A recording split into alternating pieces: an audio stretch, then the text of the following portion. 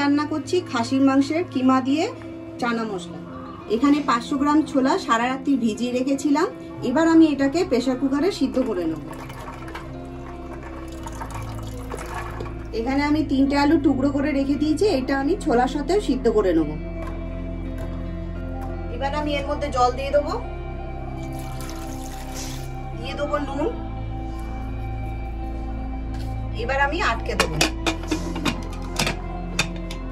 এখানে আমি দুটো সিটি দিয়ে ছোলাটাকে আমি সিদ্ধ করব।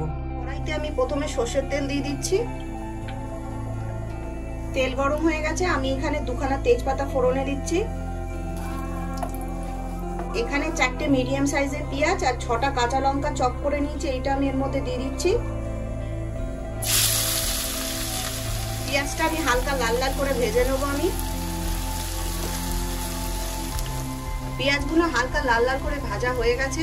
এবার আমি এর মধ্যে এক চামচ আদা বাটা আর দেড় চামচ মতো রসুন বাটা দিয়ে দেবো। আবার আমি মশলাটাকে ভালো করে কষাবো। এবার আমি এর মধ্যে এখানে দুখানা টমেটো পেস্ট করে নিয়েছি, বড় সাইজের টমেটো। এটা আমি এর মধ্যে দিয়ে দিচ্ছি।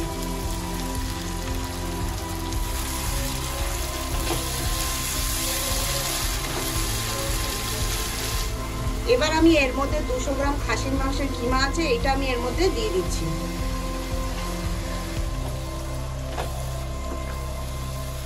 এর মধ্যে দিচ্ছি আন্দাজ মতো নুন,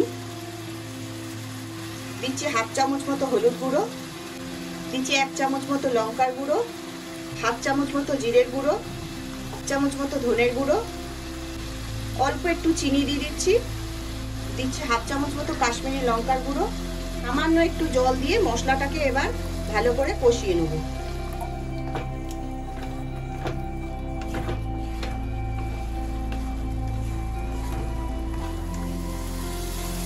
মশলাটা ভালো করে কষানো হয়ে গেছে, একদম তেল বেরিয়ে এসছে। এবার আমি এর মধ্যে ছোলাটা দিয়ে দেবো।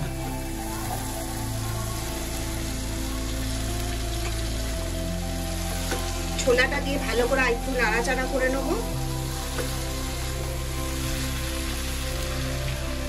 দিয়ে ভালো করে কষানো হয়ে গেছে, এবার আমি এর মধ্যে জল দিয়ে দেবো।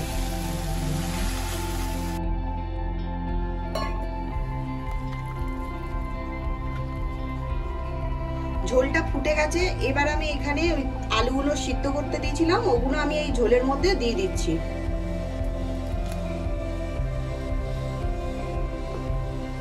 ঝোলটা অনেকটা শুকিয়ে এসছে, ছোলাও সিদ্ধ হয়ে গেছে, এবার আমি এর মধ্যে গরম মশলা দেবো। হাফ চামচ মতো গরম মশলার গুঁড়ো, হাফ চামচ মতো চানা মশলার গুঁড়ো দিচ্ছি, হাফ চামচ মতো কাসুরি মেথি দিচ্ছি।